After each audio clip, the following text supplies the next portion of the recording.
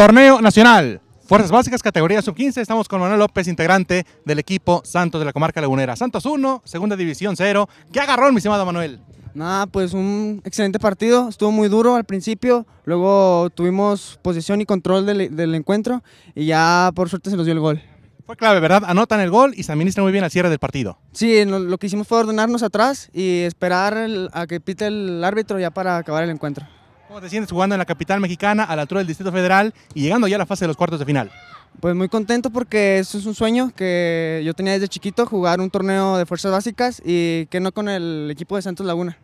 No, pues es algo muy padre, pero bueno, a mí me hubiera gustado seguir avanzando, pero pues nos tocó un equipo fuerte que nos jugó bien y pues pues ni modo, ahorita ya perdimos, pero pues yo creo que esto es algo que no se compara con nada, este torneo es de pues para el mejor torneo que he jugado, no es un sueño jugar aquí.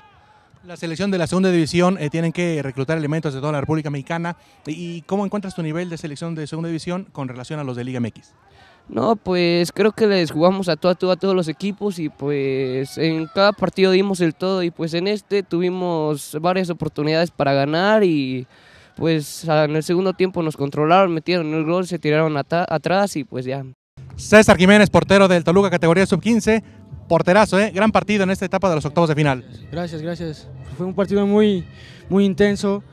Pues, desgraciadamente no se nos dieron los resultados, pero vamos a seguir este, trabajando para dar un mejor partido la próxima vez que vengamos.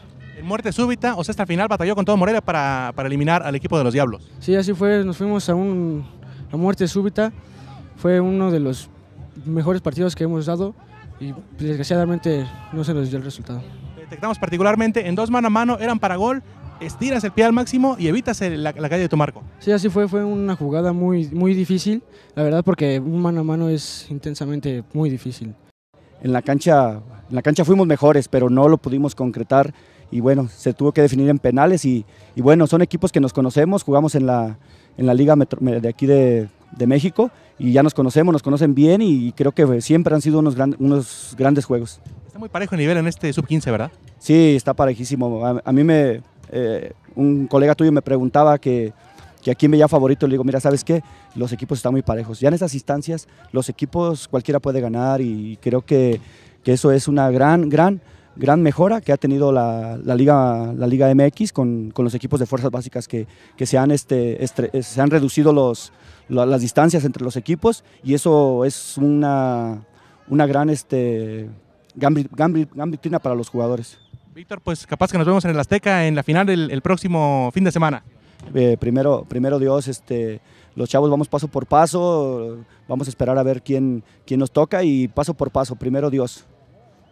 Las palabras de Víctor Errejón, director técnico del equipo Monarcas Morelia. Así que apunte usted, por favor, ya están en cuartos de final Monarcas Morelia, al igual que Santos de la comarca lagunera.